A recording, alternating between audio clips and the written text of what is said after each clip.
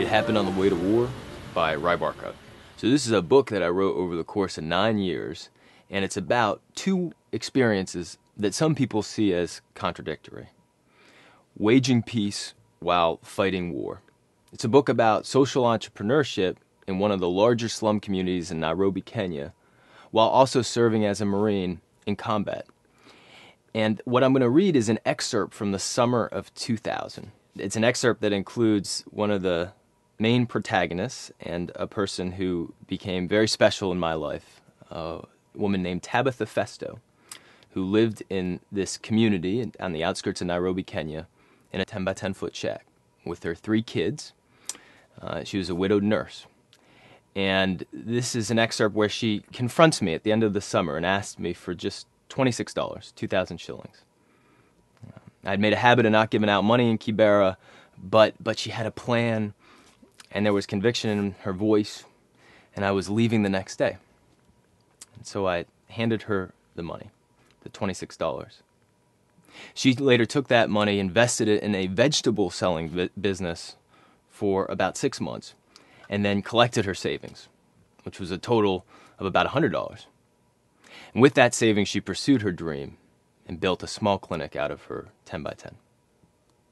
Today, that clinic treats over 40,000 patients a year. And this is where it began. I had purchased 11 kangas, colorful wraps, as gifts for friends in the United States. The brightly colored sheets with Swahili aphorisms were used as dresses, sachets, baby wraps, wall decorations, and room dividers. I reached into my bag and handed one to Tabitha.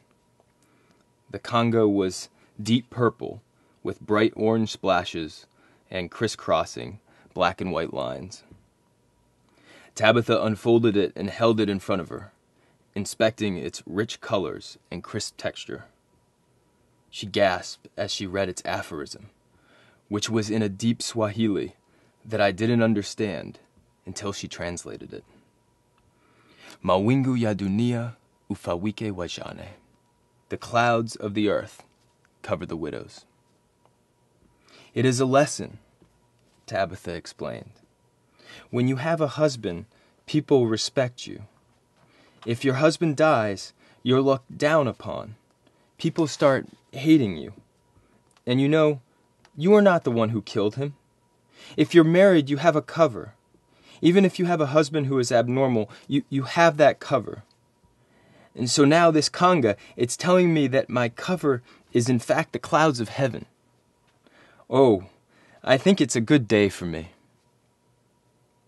Tabitha refolded the kanga with great care, reminding me of my military color guard detail in college when we slowly lowered our flag and folded it into a tight triangle for the night's watch.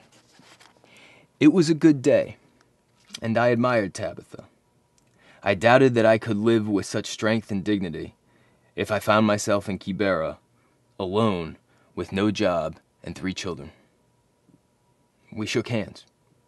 Tabitha didn't seem to be the hugging type.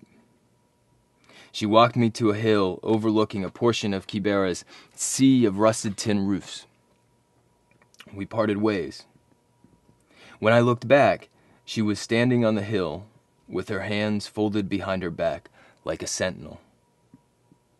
I didn't know if I would ever see Tabitha again, or what would become of the $26.